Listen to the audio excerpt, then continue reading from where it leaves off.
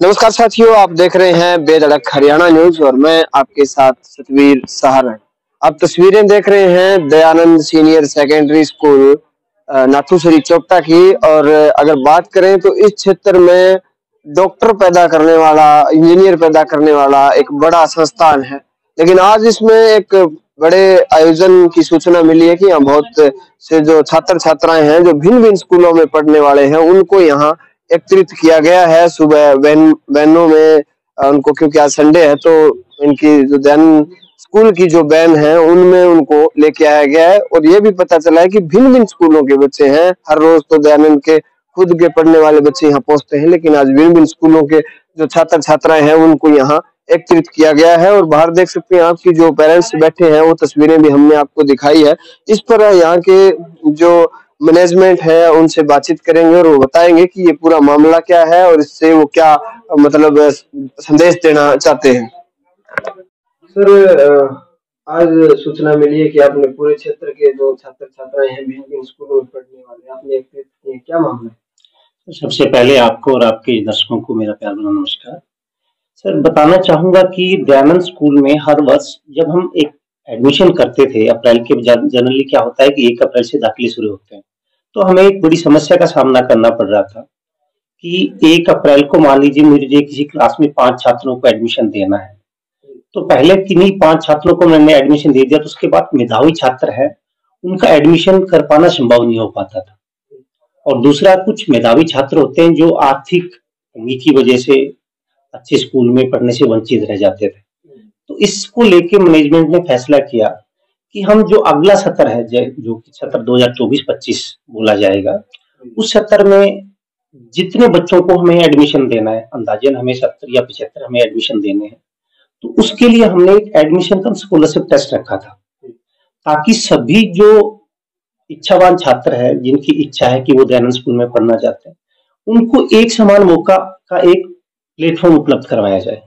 आज करीबन 1500 बच्चों ने एडमिशन के लिए स्कॉलरशिप टेस्ट के लिए अप्लाई किया था और 1500 बच्चे आज एग्ज़ाम में अपीयर हुए तो उन 1500 में से जो मेधावी छात्र होंगे, ना बल्कि उनको एडमिशन का मौका दिया जाएगा, बल्कि दयानंद परिवार की ओर से उनको छात्रवृत्ति के रूप में आर्थिक सहयोग भी दिया जाएगा ताकि वो एक अच्छी शिक्षा में उनको हम किसी तरह से डायरेक्ट इनडायरेक्ट हम उनका सहयोग कर पाए। ये हमारा मकसद था आज के लिए इस एग्ज़ाम को रखने का। सर अब जो बच्चे टेस्ट दे रहे हैं उनमें से सिलेक्ट हो गए उनका मतलब इस साल आप कह रहे हैं कि आप सहयोग करेंगे। हम्म, हम्म। मतलब कोई अच्छा ऐसा बच्चा भी है जो सामाजिक तौर पे आर्थिक तौर पे कमज़ोर भी है हम्म, तो भविष्य में उसके वो किस तरह से अफोर्ड कर पाएगा? मतलब आपकी फ़ीस वगैरह तो उसके लिए भी उसको नहीं नहीं बिल्कुल बिल्कुल। ऐसा नहीं है कि हम आज किसी छात्र को सहयोग के लिए आज हम किसी गरीब छात्र का सहयोग कर रहे हैं तो कल उससे आँखें बंद कर लेंगे। ऐसा नहीं है। दयानंद परिवार उसके जब हम किसी छात्र को आज एडमिशन दे रहे हैं तो हम उसकी जब तक शिक्षा से संबंधित हमारे यहाँ पर वो बच्चा है, तब तक उसको प्रोत्साहन की बात की जा रही है।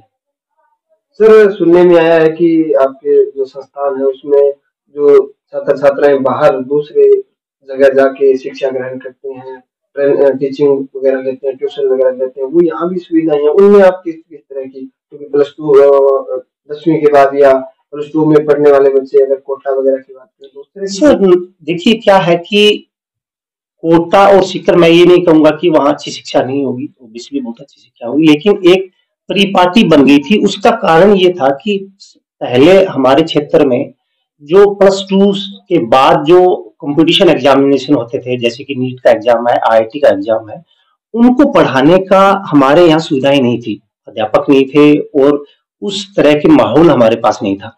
लेकिन पिछले कुछ सालों से दयान स्कूल ने इसको लेके काफ़ी काम किया और मुझे बताते हुए बड़ा हर्ष हो रहा है कि पिछले साल पिछले साल मेरे यहाँ नीट के सताइस बच्चों ने एग्ज़ाम दिया था। सताइस में से छह बच्चों ने नीट की परीक्षा को उत्तीर्ण किया था। जिनमें से दो छात्राएँ तो मेरी ऐसी है जिनका स्थान सिरसा डिस्ट्रिक्ट में है। मुस्कान जो मेरी थी मेडिकल साइंस में सिरसा में मेरा प्रथम स्थान लेके आया था। नीट की एग्ज़ाम में हमारा जो मैक्सिमम स्कोर रहा था दैट वाज 680 मैं इसी वर्ष की अगर बात करूँ, इसी वर्ष अभी पिछले पंद्रह दिन पहले आईआईटी मेन का एग्ज़ाम का रिज़ल्ट जारी हुआ है।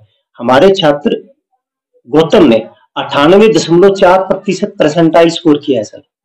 तो जो रिज़ल्ट सिकर और कोटा दे रहे थे, वही रिज़ल्ट हम यहाँ पे बच्चों को दे रहे हैं। कोटा और जो सीकर का जो पैटर्न था, अगर हम उसी को फॉलो करके यहाँ मेहनत करें तो ऐसा नहीं है कि परिणाम नहीं दिए जा सकते। परिणाम के लिए ज़रूरी है, सर, एक मेधावी छात्र को क्या चाहिए? एक अच्छा अध्यापक और एक अच्छी गाइडेंस अगर वो यहाँ उपलब्ध करवा दी जाए तो अपना बच्चा सीकर जाके जो रिज़ल्ट दे रहा है, वो यहाँ क्यों नहीं देगा? और दिया है, हमने इसको प्रत्यक्ष को प्रमाण की ज़रूरत नहीं है। हमने पिछले तीन साल से लगातार ऐसा कोई वर्ष नहीं है, जिस साल हमारा नीट या आई का रिज़ल्ट हमने ना दिया हो।